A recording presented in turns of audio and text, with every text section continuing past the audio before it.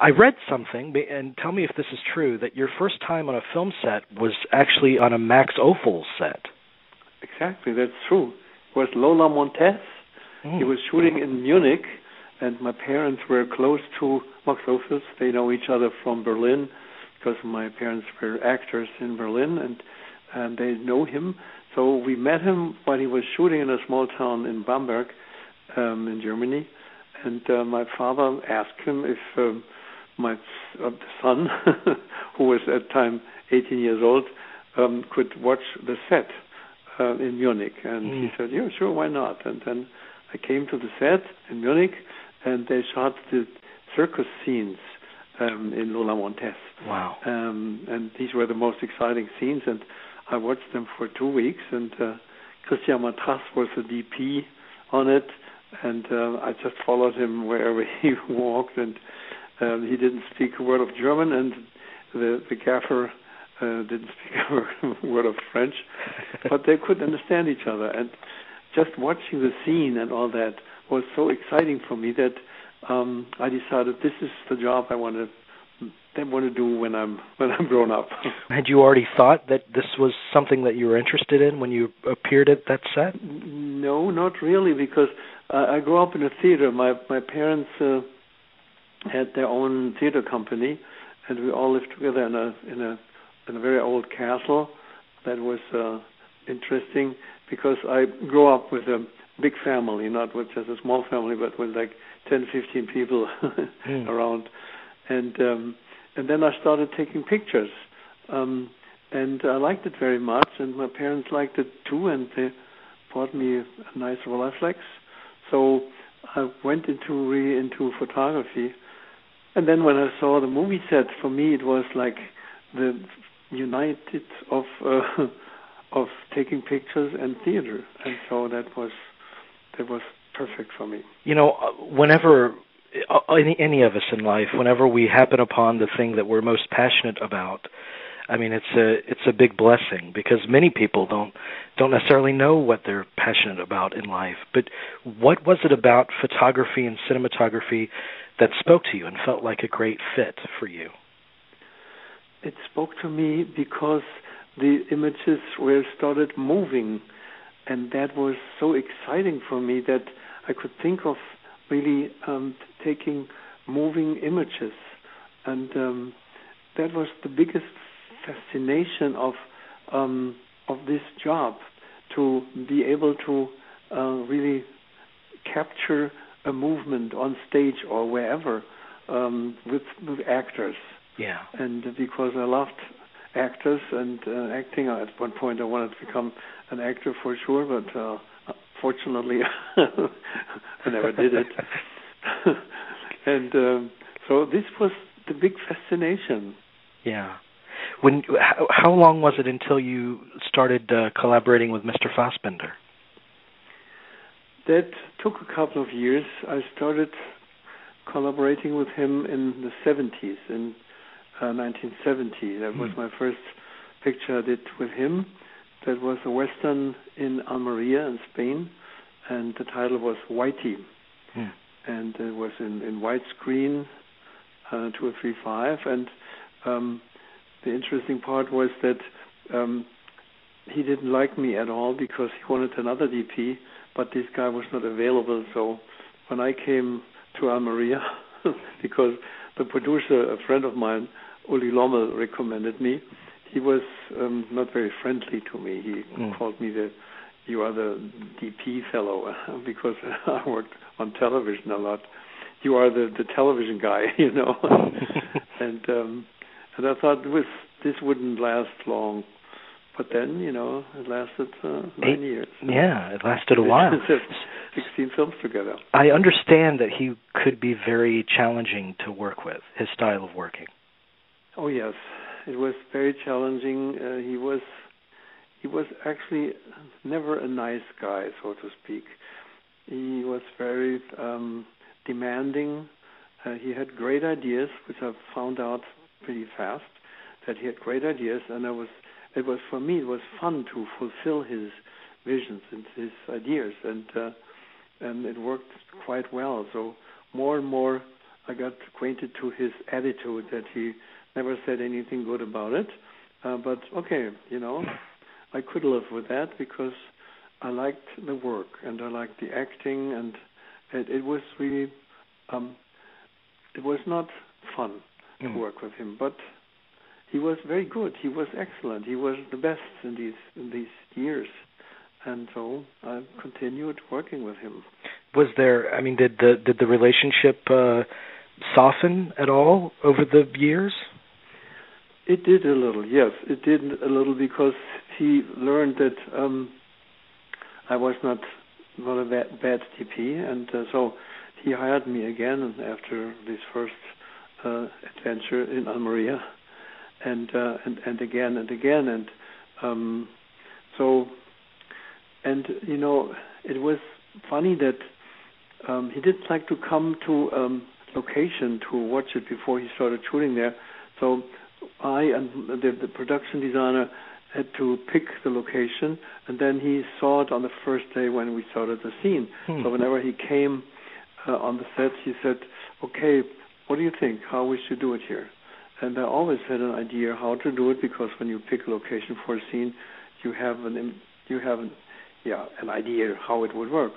And he, listened to that, and then he thought about a couple of minutes, and then he came up with a better idea and that was interesting for me to find out that he always wanted to be better. And so I learned from him a lot. So I got better with my new, my next ideas.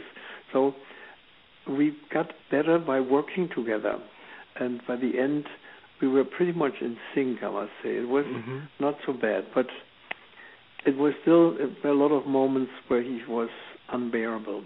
Mm. But I, I'm thinking of what you just said in your you know obviously you're thinking on your feet then you're working fast and i think that's pretty much uh, a great thing that you're known for in your work that you, you're a very fast cameraman when you need to be right. yeah so that must have been essential that that kind of pace yes um and that's what i really learned uh, working with him being fast and still not mad because mm-hmm. i was also very ambitious and uh, i was well prepared and I always trained my crew that they were fast, and um, and then it really went well. So your, your first collaboration with Mr. Scorsese was After Hours, was it? Right. And that was a film that was shot very fast, and it seems like a a special a special place in Scorsese's career. It felt almost like a like a refresher uh, for him because he had done some big movies and he wanted to get back and see how fast he could shoot something um, and I love that film. Was did that feel like a very special project? Yeah, it was very special, especially for one reason because the first project that uh, he wanted to shoot with me was Last Temptation of Christ, mm. and that was at that, that time uh, by Warner Brothers, and it was no, it was by Paramount, and um, it was a twenty, mil- 20 million dollar picture, and um, I met him um, at his birthday in LA, and we talked a lot, and it was wonderful. And I was in heaven. I traveled to Israel and saw all these great sets and all that. And I always felt, oh my God, 20 million is a lot. And, and I to shot a movie for that much money before. So the biggest budget I had in Germany was like five million. And um, so I went back, and it was short before Christmas. And um, a couple, two weeks later, came the message that uh, that Paramount pulled the plug, mm. um, and uh, I was falling from from the sky to deep in a deep hole. But then it was luck after all, because um, on After Hours I could show him something that I was perfect in it because I was used to work fast and uh, always worked under very um, extreme conditions like little money and all that. So when the producer asked him, asked Marty, Marty, you have a shot list of 600 shots. What do you think you could do that?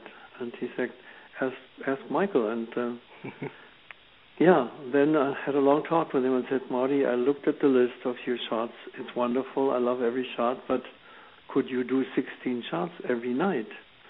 And he said, okay, let's try if we can do it. and we did it in 40 nights for for four million dollars, and um, wow. it was for me the most wonderful experience I had because to give this wonderful and genius director the chance to get all what he wanted and still get it on time, and then the movie was on top of it was successful and all. Um, it was the start of my really my career in the states. Yeah, just to for those that are unacquainted uh, with with how film production works, uh, how rare is 16 setups a, a, a night? I mean, what is it usually on on any other production? I mean, I can only compare it with the shots he did on the movie before. Where I worked with him. Um, I don't remember the title right now, but you know which one it was, right? Uh, it's, uh, Jerry Lewis and. Uh, uh, oh yes, King of Comedy. King of Comedy. On King of Comedy, he shot like in daytime uh, with a great crew. Uh, he shot like four or five shots a day. Wow, wow. And this was all night shooting for after hours. All night shooting, wow. and yeah. So, do you, as a cinematographer, I would think you have to be very flexible. You could have a plan for how to shoot it, but being on the location, you you would have to change your your plan right on the fly. It's all about being flexible, right? You have to be flexible, but I was well prepared because we looked at all the locations before, and before it was night. Because it was night, um, um, I could look at every place. I took pictures. Uh, I, I also I, I taped it with my little uh, Sony camera, and um, so I I knew ex- exactly how to light it before we started. And sometimes I did a pre-light if there was time to do that. And so then it's possible if you're well prepared, you have a good crew, and I had a very good crew. Um, then it's possible. Mm. And if you're a director who follows that, and I will never forget the the time on our first night, um, um, I showed him the shot, and Marty looked at it and said, "Yeah, that's okay." And then he walked to his trailer, which is half a block away. By the time he arrived at his trailer, the AD came to him and said, uh, "We are ready, Mr. Scorsese." So wow. he came back, and I remember he never went back to his trailer while we were shooting. Well, I think about. I want to talk to you about a, a couple of these collaborations, but I think about the color of money, um, and I think about and how cinematic you made those those pool halls. Were you excited by the environment of of the pool hall when you did it spark some creativity and some inspiration in you? Oh yes, I was very excited. Um, and we shot the whole movie in Chicago, as you probably know. Mm. And um, we tried to do something very special because um, I tried to have really the lens in the same height as the the um, the, the balls were rolling, you know, on the field, on the green field. Mm-hmm. And um, uh, it needed some special equipment for that. And so that was the trick. And then I moved with the balls on on the green, and um, I think that made it very special. I think I've never seen that before yeah. in a pool movie. Absolutely, yeah. And um, and he gave me some really challenging things to do, um, and it was sometimes not so easy to uh, think about it, how to get it. But um, yeah, with the help of my crew, always got it. It was it's beautifully done. I, I wanted to ask you about working with Scorsese, something in particular, because uh, a few months ago we had the pleasure of talking to to Robert Richardson about his work with Mr. Scorsese, and he said that Scorsese he he he maps out all of his own shots, and it's just a question of you as a cameraman being able to achieve everything that he's wanting. It, do you where do you feel kind of the personal creativity in that process? The personal creativity with Marty is that he is so well prepared normally. You know, he works on his script and on the shot list for like sometimes for like three months. And uh, when the list comes to me and I read it and and uh, look at the at you know he makes little signs. This you know this shot is for this line in the script, and so then I have very good um, idea about the rhythm of a scene and the rhythm of the shots, and that is a great, great information to have. And so then, you know, I could really imagine every shot when I read his or read his uh, shot list. I could see the images in front of my fantasy, my head, and mm-hmm. uh, that was a great, great pleasure. It's very exacting. I mean, I, the the rhythm and the and the timing. Uh, it, right. I, I would think it would be very exacting. Yeah. But I I look at all these different films that you've done throughout your career, but just looking at the Scorsese films that you've done, I mean, they're so uh, diverse. I mean, you go from something like After Hours to a Goodfellas or an Age of Innocence. It really takes you in all these different directions. Um, but I would think among all of these that that Last Temptation would have to have some kind of profound place in your life. That seems like a, a, a very profound project to be involved in. It was because this was one of Marty's favorite projects uh, of all, and he tried so hard many years to really get it financed, and it came from a budget from 20 million at at, at um, I don't know I think it was Paramount um, to a budget of 9 million that friends of him really brought together, and we all worked for uh, very little money because it was work of love just for Marty to get his favorite project done, and it was it was just wonderful. Again, we had little money, and uh, we had not so much time, more time than after than after hours for sure, but it was still very tight, and uh, but it was every day was. Um, with this also with this project and uh, the wonderful actors we had, um, it was sometimes it was that I felt we get some help from above, yeah. so to speak. yeah, and you can feel because it. Sometimes when a location that we found, like a river, that was great when we found it, um, and then it started raining a day, and the river was like was totally different. It was like um, like six feet higher than before. Mm-hmm. And we had to find a new location, and it was a better one. And also for the last scene, the crucifixion, uh, we found a location, but it was in December, and it started snowing up there uh, because it was like closer in, into the mountains. And you know, you can imagine that you can't shoot a crucifixion scene with him hanging on the cross when it's so cold. So we looked at the location and looked and looked, and, and on the last day um, before we started, not before we started shooting, but before it had to be decided, we found the best and most wonderful location. And for me, it was always a miracle in a way. Yeah.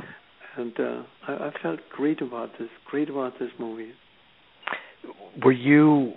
I mean, it's it's a gorgeous movie, and I think as the years have gone by, uh, definitely it's known as the classic that it deserves to be. But uh, upon its initial release, I mean, it was met with great protest. I mean, was that was that very disheartening for you when that happened? It was not in a way because we kind of expected that um, because we know from the reaction of the studio that there would be protest and there would be lines of people who were standing there and said, "Don't go to this movie. It's a, it's a disgrace and it's against against Christ and against God and all that. And um, and you know that the book of Nikos Kazantzakis uh, was um, from from the church uh, on the on the list of no no good. You, you are not allowed mm-hmm. to read it and things like that. So we expected that, and that was it was very sad. But still, and again, it is it is um, if you want to rent it, uh, most of the rental um, places where you can rent uh, DVDs don't have it because this, the church is still very much against it.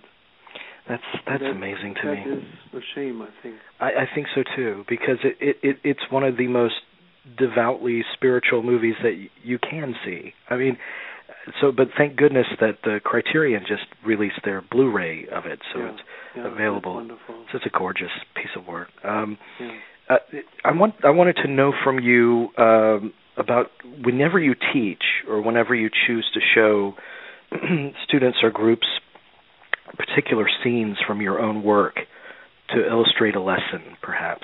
Which, which ones do you go to and, and show them? Um, it's interesting that you mentioned that. Um, there is one scene in Goodfellas that everybody knows. Mm-hmm. It's the Copacabana shot, which is uh, this long shot, Steadicam shot into the Copacabana that ends um, with with her asking, "What are you doing?" and um, for me, this is a scene where images can more do to a, a scene than words. Because imagine what could this guy have told her, what he has shown her with this wonderful shot. I mean, this is so much better than anything words can tell you. And I think always when images tell you more than uh, than the words, then I think it's uh, that's a highlight of, of movie making. Mm-hmm. Well, and also it. I mean, it's an amazing shot, but beyond its kind of technical virtuosity, it really uh, deepens your emotional investment in in that scene. And I think that that that has to be the definition of the the best camera work in filmmaking. So you all you you definitely show Goodfellas. Are there other scenes that you're particularly fond of? Yeah, um, one of my other favorite movies uh, for for sure is. Uh, um, I mean, one is Last Temptation that I'm showing sometimes because, especially of the um, the religious aspect, mm-hmm. and the other one um, is um, the Color of Money. I like very much, and uh, and the other one is. Um, sometimes I have. A I don't remember my favorite movies.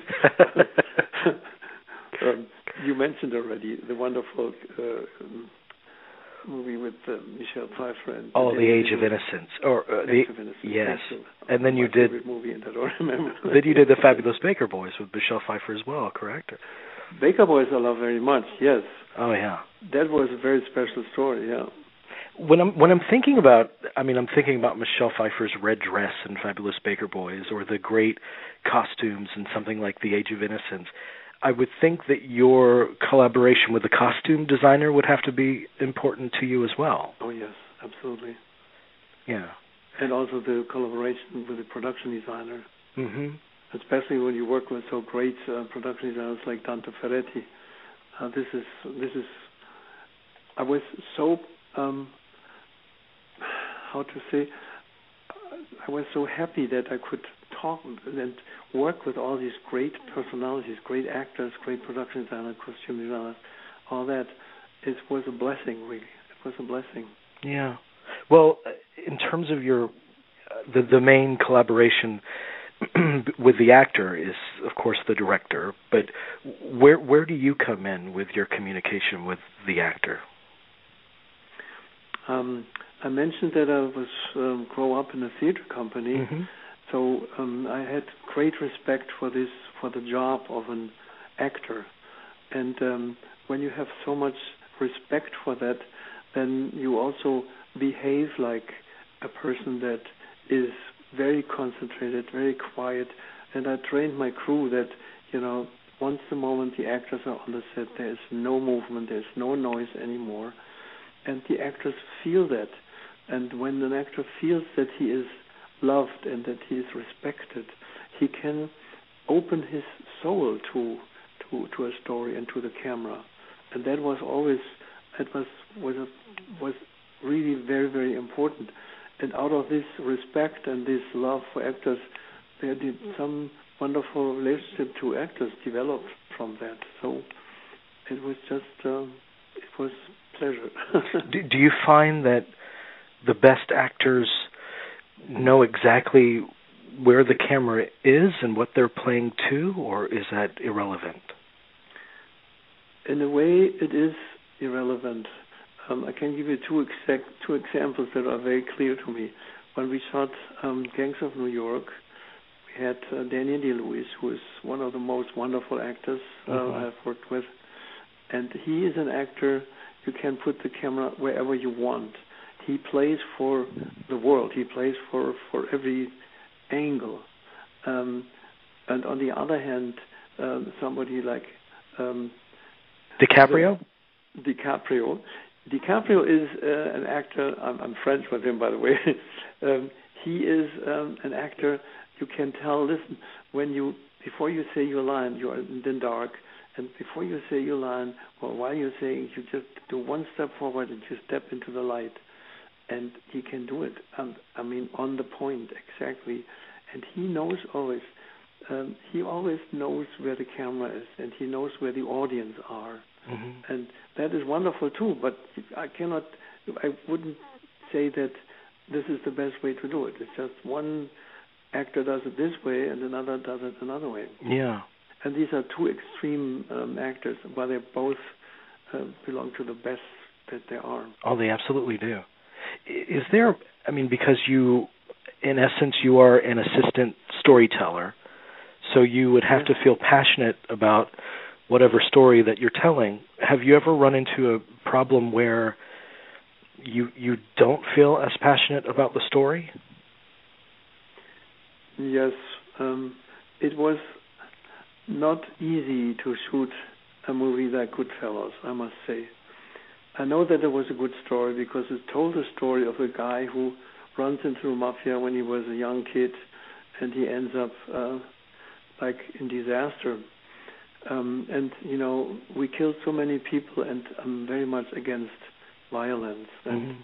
to do this movie was hard, but it was with Marty, and it was a great story. But I must say, with another director than Marty, I probably wouldn't have done it because of the reason that I, I hate uh, violence. Yeah. Well, I, I wanted to ask you about one more movie in particular, and then and then just a quick closing question. You've been so nice with me with your time, so thank you. Uh, but this project fascinates me uh, with with Coppola's Dracula. Uh, because that seemed like an extremely experimental project. Yes. Um, what, what were the biggest challenges and, and freedoms associated with, with working on that film for you? Um, it was wonderful to meet Francis, uh, and uh, I was a big fan of his movies for sure, like everybody else in the world. Um, and um, he had um, one issue that uh, the reason was why he hired me. That the studio said, uh, "Listen, uh, Francis, you always go like 10 millions over budget. On the next movie, it's the 10 million come out of your pocket." so he had to look for a DP was a little faster, a little cheaper than the one he the one he worked with before. So and then we were really well prepared. We had ten weeks of prep, and every morning I went to his office and he uh, told me what he wants to do with the scene. And um, I went to my office and make a little shot list. Then I came back to him. He looked at it and said, "Yeah, it's okay. A little changes here and there." We did this for ten weeks, and after ten weeks, every shot was uh, on. We had a storyboarded every every shot. Wow. And when it was ready, it was very thick book. And when we started, he t- told everybody, "This is like um, how do you call it? Music. You, this is the partitur in in German. This is." Um, this is well. So it's every it, shot uh, that's not in here we don't do. Right. Yeah? So, right. Um, it's um, yeah, it's it's a stunning it's a stunning movie. Uh, yeah, what, what you guys accomplish in that. Yeah. Um, there's so much to talk to you about. I, I just I want to tell you that I've always loved your work with Mr. Redford as well, and and the film Guilty by Suspicion. Those are particular favorites of mine. Uh, but when you look at the, the, the work of today, um, is there anything that troubles you, and and conversely, what are you impressed with? There are still movies that impress me, um, I must say, and um, uh, and I love to go to the movies. Um, and uh, what I did, I, I gave my job in the States, I gave it up six years ago uh, but then there was a project in Germany uh, that was very fascinating, uh, because it was basically shot in a room. It was a story of a girl of 10 years was kidnapped. Mm. Um, and uh, she was uh, in, in, that uh, prison in a way for eight years. And the relationship between uh, her and the guy who kidnapped her was quite interesting because he didn't want money or he didn't want to rape her. He wanted to educate his educate his wife, and that was a very strange story about this relationship with the, these two people. And the the bunker or the prison that she was in was four square meters. Wow. And uh, so to shoot a movie in four square meters, you can imagine the problems. And I said, okay, this is a challenge. And it happened that my wife was the director of that. So was, uh, I decided, okay, I'm trying to do that again, and I did it, and it was it was wonderful for me to do that. After six years, I haven't worked. This was the last one I really did. so this is this is the last one you're saying? Yeah, this is the last one, definitely. So you, uh, I mean, do you just feel like, like it's time to re- retire, or? I never really retire because I'm teaching, as you know, mm-hmm. and um, I'm doing something for the environment. I shot little shorts for educate the people to to be more careful with energy and uh, and things like that, and you know take a ride with a bike instead of taking your car that mm-hmm. needs gas and all that. So I'm still very busy and uh, have very much fun with it. Well, I, I have to tell you, as a movie lover, your work has made a great difference in my life, and and thank you so thank much. You so much. Thank you for enriching my life, and thank you for giving me time today. This has been wonderful. Yeah, it was wonderful for me too. okay. Have a good day, sir. Thank you.